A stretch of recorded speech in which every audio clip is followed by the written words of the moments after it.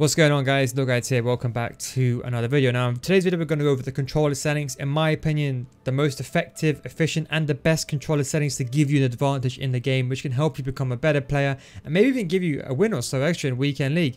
Um, I think this is actually more important than you think, this is especially post patch as well because since the intervention of FIFA 20 in September a lot of things have changed and a lot of controls have changed because of that. But I'm also going to show you some visual examples. I'm going to show you what ball relative does, how it differs from player relative, why I use ball relative instead of player relative, why I use manual jockeying, what does it do, um, just to actually show you what it does. Let's say this is just my opinion, um, but uh, an actual use case for them and I'll give you the evidence of behind it as well. I'm um, starting off with the FIFA trainer now. Leave this on hidden, there's no reason to leave it on on. Unless you're new to the game, um, then leave it on on. But on, on online, you can't see it in FUT Champion, etc, etc. So leave this on hidden.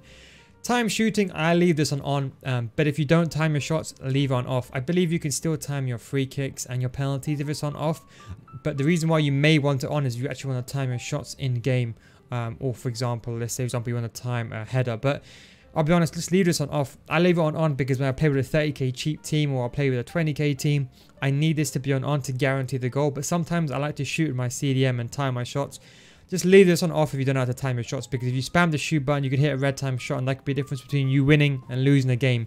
So please, unless you really know how to use time shoot, and leave this on off. Um, second defender switch icon. Now this is more important new thing and this is why I said post patch comes in. I used to leave this on off because it was merely a distraction. I leave on on now. There's two use cases now. The first use case, in case you didn't know, um, the second defender icon is basically this burgundy kind of faded away icon. So you have the normal red one, which shows the player you're selected. And the second defender switch icon is this burgundy kind of faded away icon with kind of like a gold thing around it. But the benefit, the benefit of this is that is that you can see, number one, which player you can switch to guarantee, which can help your right stick and player switching. And two, you can see which player is pressing with. Let's start with the pressing now. If you hold the R1 or the RB button, which is the second defender press button or second defender contain, um, you can actually see which player is pressing. So normally the player, or 99% of the time, the player with the second defender icon above his head will be the player that's pressing. For example, down the wing here, you can see the player with the second defender icon. When I'm holding R1, that player is pressing. So that way you can just see the movement of the player. Um, but since that has been patched now, second defender container, they don't really run anymore. They just kind of just jockey and kind of walk towards your opponent. The use case is basically gone. Um, but the other, the one benefit you still want this on on is sometimes you want to switch to a player. Now, in terms of right stick switching, we know, I know it doesn't always work. Now, in my opinion, when you have this on off um, sec um, second defender switch icon, well, you saw you increase the probability of error because sometimes you want to switch to your center back. You don't always need to use a right stick switch. The good thing with the second defender switch icon is that icon is going to be your, above your, your actual player you want to switch to. So let's say, for example, here, I want to switch to PK. As you can see, the second defender switch icon is above his head. So I can just press L1 and I'll switch to that player guaranteed 1000%. However, if, for example, I wanted to switch to PK, if I flick my right analog stick to, to switch to PK, there is a chance I could switch to, for example, my left back or my other centre back. So this way is almost like a guarantee that you're going to switch to that player where the second defender switch icon is selected. So in case you didn't know, that's one of the benefits of leaving second defender switch icon on. Um, I recommend every single person um, to use this in my opinion unless it really serves as a distraction. Pass block assistance, um, I would say leave this on on. There's no reason to leave on off. I did some extensive testing when the game came out. Um, I don't know anyone that uses on off. You basically what this means is if your CDM is cutting the passing lanes, if the ball is near him, if you leave this on on, he'll make the interception. There's no reason to have this off. The only reason you may want this on off is if you want to occupy a space as opposed to tackling.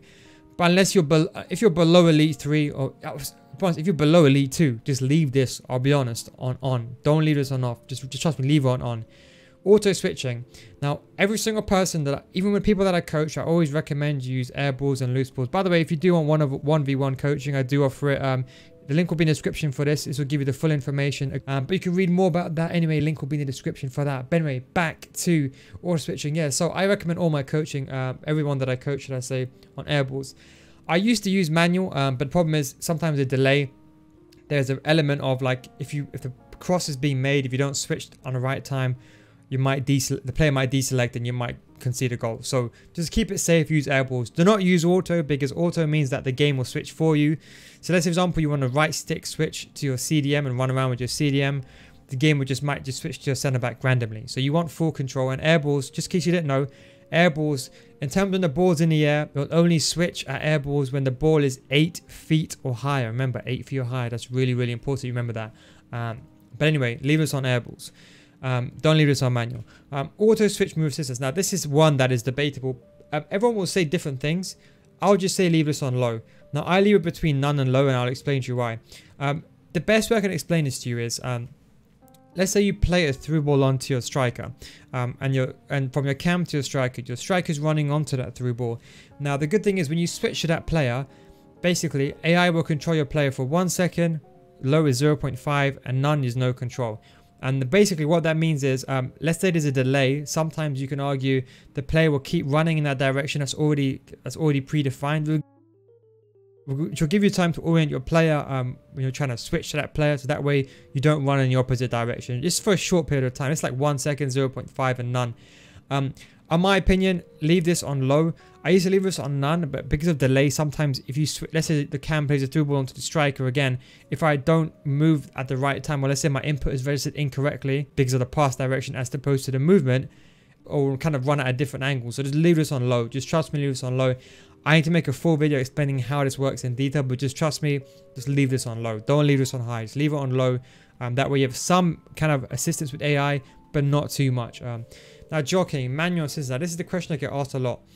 Now, in, in all honesty, um, I would say unless you're above Elite 3, use assisted. The reason why is manual, okay, the best way I can explain this to you is manual means you have complete free flow of your assistance. So if you do the run and jockey, wherever you run, that's where you're going to run. End of story.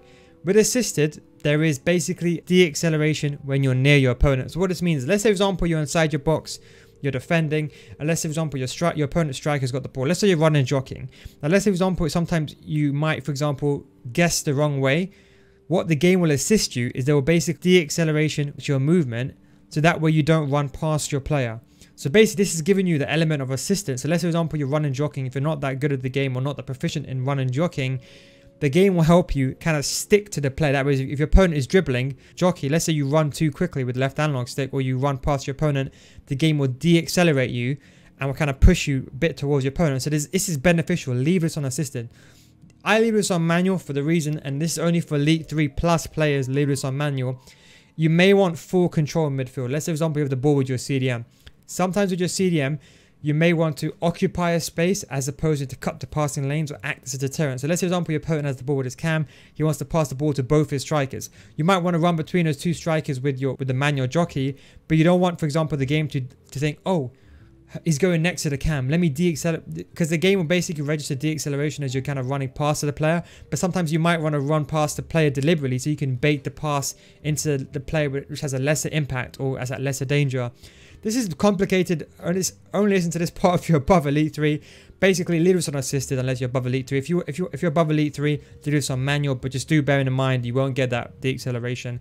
Um, but this is really good for cutting the passing lanes manually. And if, for example, you're trying to bait a pass, like let's say you overcommit on one side and you want to bait uh, your opponent to go to the less dangerous pass, or you want to pass, or you want your opponent to pass to another direction. Um, but yeah, that is um, the main thing with that. Again, Elite 3 and above manual below Elite 3, um, obviously assisted. Right stick switching now. FIFA analyst made a video on this. If you've not checked him out, make sure you do. Um, but he made a video on this and he says I use ball relative. People DM me on Twitter saying, "Is this true?" Yes. Um, in my opinion, I know 99.99% of all players use player relative, and including probably some of the pro players. Ball relative for me is the most efficient, and I'll give you the reasons why. I would just say, just if you haven't subscribed, make sure you subscribe. Um, I got a defending tutorial coming out soon. I'll kind of go through this in detail. Um, make sure to turn notifications on for that to get a video regarding that. But basically, there's two. There's ball relative and there's player relative. Now, to be honest, player relative is the default. Um, but I think ball relative is a superior one. I know I'm in the minority here, but I generally think it's the best one. Um, I'll try to explain to you why. Especially when you're using a co-op camera angle, for example, it's easier to see and it's more consistent to use ball relative. I'll explain to you why. Now, generally by default, let's say for example your opponent's attacking you and you're controlling your center back, right? If you want to switch to your left back, you have to flick the right analog stick up towards that player. So it depends on where the player is. So wherever you're, whichever player you're selecting, if you want to select that second player, it depends on which the initial player you're selecting first is, and then from wherever wherever he is, you have to aim either up to go to, for example, your left back in this instance. Now, with ball relative, it's a bit different.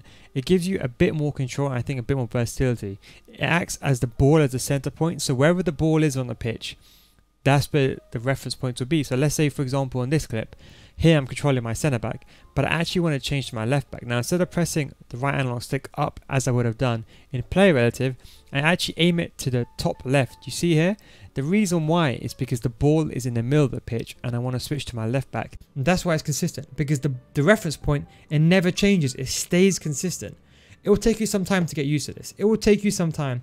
But once you get used to it, you're going to be laughing. I'll be honest, I can't go back now. It's just, I'll be honest, I think 30% better player switching, I think, increased. I'll put a number on, a figure on that. 30% around about with ball relative because the reference point, it never changes. With player relative, the reference point's always changing. You're adding that inconsistency, especially in delay. Whereas ball relative, the player, the reference point is always where the football is. So wherever the football is, you want to change to your striker, you flick to the right hand side from shooting from left to right. If you want to change your left back, you flick to the top left. And that way also, you're going to get the muscle memory. So whenever the ball is in a certain area, the, let's say the ball is, for example, in the centre half, you know if you flick the right analog stick to the top left, you know it's always going to go to the left back no matter what. So that's why it adds element of being consistent. Everything here, um, I'll be honest, leave this all unassisted. Um, there is no reason to leave this on semi or manual. Um, I used to leave. I used to have four manual controls prior to FIFA 13. I've changed now. There's no point using some manual. Um, now cross distance. Um, some people use this on assisted. Use on semi. This way you can control the power. So basically, the more power you apply, the further the ball will go to the back post. Obviously, the least amount of power you apply, it will go basically near post. So this gives you control. Where the assisted kind of just the ball just goes anywhere to any player in a box. Or a semi, you can basically control where the ball goes near post or back post, depending on how much power you apply. Um, so I would say leave this on a semi, especially if you cross the ball. Lob assistance, people leave this on manual. Um, I used to leave this on manual, um, but I, because of I don't know, lob doesn't really work that um, this just doesn't work lob passes that well this year, so I leave it on assisted. Uh, because I just think with delay, I just don't want to take a risk anymore with you know switching the ball and you know the game messing it up or something. Save assistance leaves on assisted. Um, analog sprint now, people don't know what this is. The best example that I explain to everyone, especially people that are coach, is basically when you have it on, it's like a gas pedal. Your run button is like a gas pedal. So if you touch the gas pedal or the acceleration pedal for us, because we're obviously in EU, but I know there's some Americans watching, but let's just say you touch the gas pedal a little bit or the acceleration pedal. If you touch it a little bit, you're only running at 20% of the speed. Just like in the car, you'll only be running or going at 20 miles per hour. The reason why you want this on off is because you want your player to always go from 0 to 100. You don't want to, for example, because you leave this on on, what's going to happen is if you touch the right, let's say for example you switch to your striker and then you start running. There is actually a second by the time you basically touch the right analog stick until you gone to like the dead zone, the full throttle. So you want this on off, so that way when your player your player's running, he's always going from 0 to 100. So there's no 0, 20, 30, 40, 50 to 100. It's always 0 to 100. That way you're running at max speed every so as soon as you press the run button, you're running at max speed. The only reason why you want this on on, I know one person, he's probably the best dribbler I know in my life, but he's, I know one person who on on. The reason why he leaves on on, and I asked him the, the full reason why, and he goes, when he's dribbling, he likes to dribble with the analog sprint with like 20% speed, and like sometimes likes to use full speed when someone comes nearby. So just leave this on off. Just leave it on off. You want to be running at full speed all the time. Tactical defending, you have to use this on on. Um, obviously because that is uh the, the you know that's the all the online gameplay is all on tactical defending. Um, even Squad Battle's tactical defending now, so this on tactical defending. Pass receiver lock, leave this on late. Basically, what this means is if it's on late, the best way I can explain this to you, if you make a pass, now if the animation kicks in, if it's on late, if you, for example, want to pass to your centre back, but then you think, oh no, my opponent is marking my centre back, you can switch to another player to pass to last second. As long as the ball is not being kicked, you can switch to whichever player you want. So let's say you aim one way, and let's for example you see your teammates marking that passing lane, you can switch the, the passing the pass option. This is on early, it locks in early. So that means as soon as you press the pass button, that's it. You can't change it. As soon as the animation kicks in to make the pass, if your opponent is, for example, man marking um, a specific player and you pass to him, you can't cancel it. That's it. It's locked on. The pass is going to go there no matter whether you like it or not. The only way you can stop it is if you, for example, do a fake shot. That's it. So you're in trouble.